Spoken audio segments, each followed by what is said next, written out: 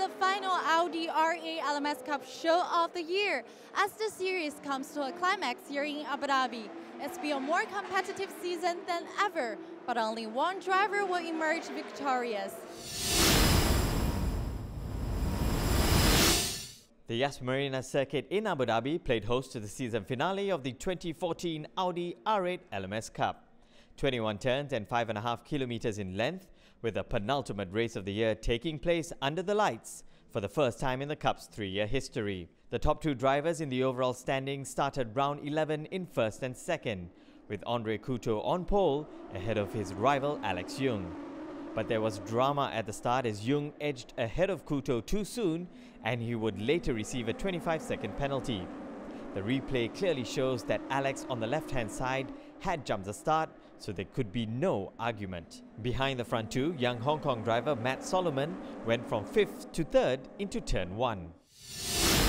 Frankie Cheng, who also had a shot at the title, moved up three places to 4th. Frankie had been poor in qualifying, but he was pushing Yoong hard for second place and moved past him on lap 6, with a Malaysian struggling with the extra 60 kilos he had in his car for winning the previous race in Shanghai.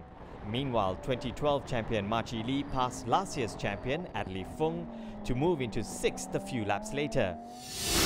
Adderly Fong would go on to clock the third fastest lap of the race, putting him third on the grid for round 12. Lee would later choose to end his race early in order to save his tyres and give himself the best possible chance to snag a win in the season finale.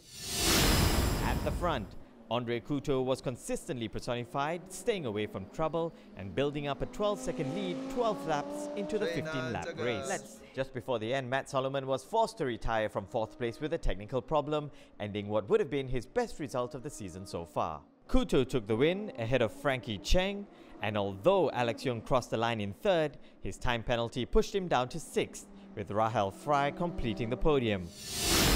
The result gave Couto an 11-point cushion in the standing, knowing that a top three finish in the season finale would guarantee him the title.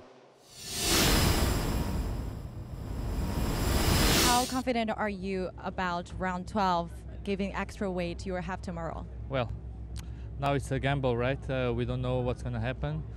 I don't know if the tire is going to last. I don't know how the car will be. I just know that uh, I'm on it and um, bring it. Couto was again on pole for round 12, having set the fastest lap time in round 11. And he had the perfect start, maintaining his position into T1 despite carrying an extra 60 kilos.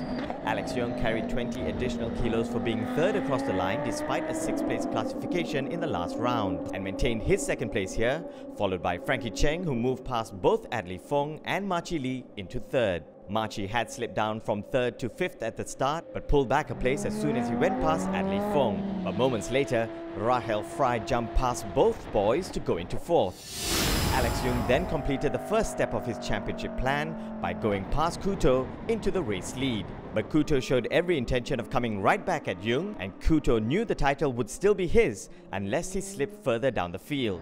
The turning point of the race and arguably of the championship came in the final few laps, as Couto again went past Yoong but went off track as he did so. He failed to give the place back to the Malaysian as the rules dictate he must and would later draw a 25 second penalty after a lengthy review which would prove extremely costly. The action continued with Adderly Fong passing Rahel Frey for third.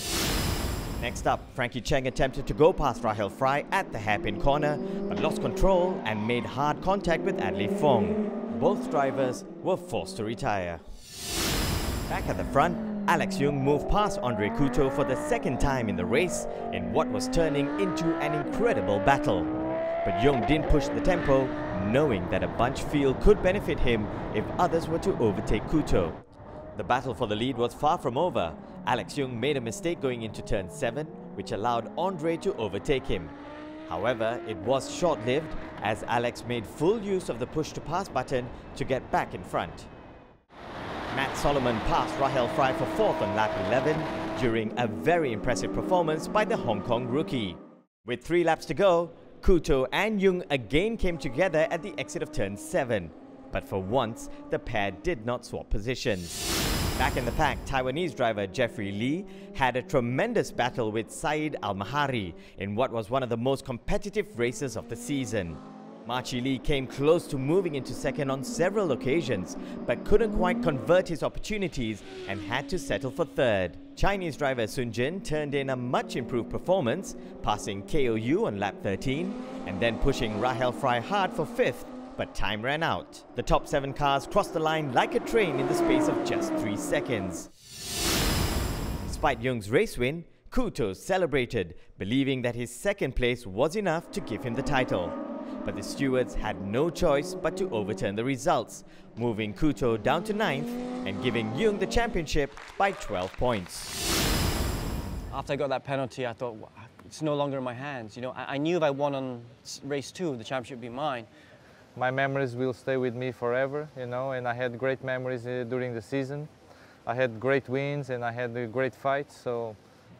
I, I'm fighting for the trophy, I'm fighting for the cup. I really enjoyed this, this week. I did uh, two pole positions again, and uh, you know this is a track I've never been to. We fight for the honor of it and sweat, blood, and tears, I guess, for it. I feel great. I think I did a very good season. Finally winning the title is, is I can finally take a breath again. That's very special for me, and uh, I, I, take I take good memories out of this uh, this week, and not the bad ones. Bad ones I I keep it aside, you know. I'll definitely be back. You know, it's a great championship. I love racing for Audi good, good people here, and I'm, I'm looking forward to coming back next year. 2014 amateur champion Stephen Lin notched up another victory, winning from Jin Ting and Ashraf Deval. They handed him a 25-second penalty, which dropped Couto to 9th, which means that Alex Yoong becomes our 2014 Audi R8 LMS champion. Marchy Lee gets promoted to second, and Matt Solomon finishes the season on a high with third place. Stephen Lin clinches another amateur category win with an 11th place finish.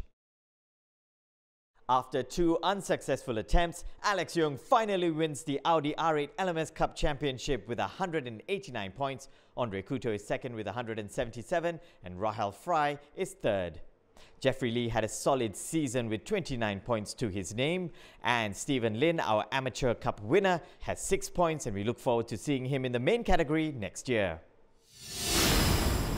Renee, so many highlights to choose from for the year. But let's talk about next year. Could you please tell our fans what's in store for the Cup in the 2015? We will add a lot of more excitement. We will have a super pole. That means actually after everybody qualified, the top eight are going out and battling for the top eight position. Secondly, we have a standing start with a launch control. This enables us actually to have a rolling start and a standing start at the same on the weekend. And what we also add is a new location.